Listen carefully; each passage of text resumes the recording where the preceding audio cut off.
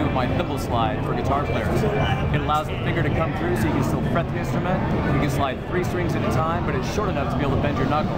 That allows you to be able to just keep playing. You can actually play chords, you can slide, and get then right back to your business. Uh, it's going to be available through a Coffin Case. So come online and pick your slide.